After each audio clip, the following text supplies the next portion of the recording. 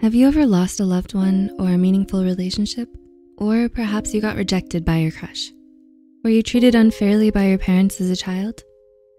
After any traumatic event, it's important to work on the necessary healing. Unhealed trauma can affect our brain and lives in many ways and unfortunately will not die down on its own. So here are five ways unhealed trauma affects us.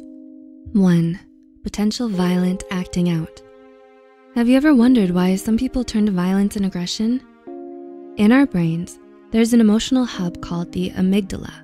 While the amygdala controls the expression of many emotions, it tends to have a very prominent role in fear and aggression. Unhealed trauma tends to intensify these negative emotions in the brain, such as fear, anxiety, agitation, stress, and so on.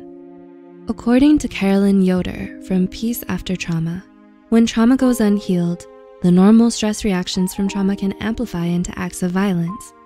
Yoder says that this sort of violence can pass through generations, so she suggests trying to break this cycle and heal as soon as possible. Two, the potential development of PTSD. It's natural to feel afraid during a traumatizing situation, but do you often feel stressed or frightened even when you're not in real danger? Post-traumatic stress disorder is one of the most well-known impacts of trauma. But did you know that PTSD actually results from unhealed trauma? This anxiety disorder can manifest in many ways. Common symptoms of PTSD are nightmares, flashbacks, avoidance of trauma, and emotional numbness. There are many layers and complexities that lie within PTSD, some of which are more recently brought to light. For more in-depth information about this disorder, be sure to check out some of our other videos like the five types of PTSD. Three, potential substance abuse. Self-medication is a common coping mechanism for unhealed trauma.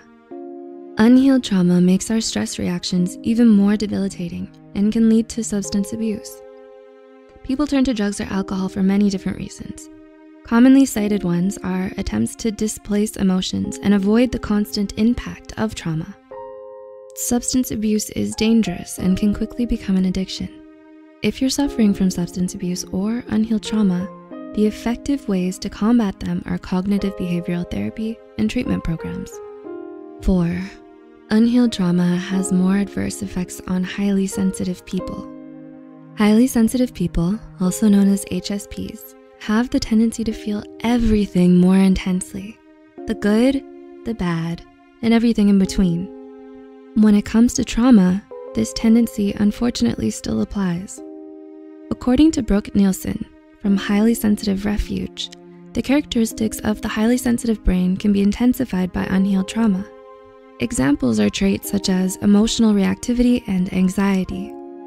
If you are an HSP struggling with the effects of unhealed trauma, please remember to be kind to yourself. There are resources to help you overcome these debilitating emotions.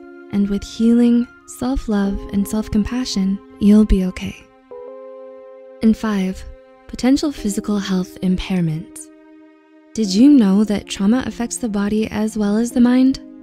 According to a study done by Harvard Health, many people experience behavioral and physical changes like overeating, more adrenaline production, and even more inflammation due to unhealed trauma. This makes them more susceptible to a number of somatic diseases and disorders, such as cancer, diabetes, obesity, and stroke. In order to avoid these susceptibilities, it's important to try to get the help and heal from the past trauma. The Harvard Health Study suggests a few resources to overcome common healing barriers.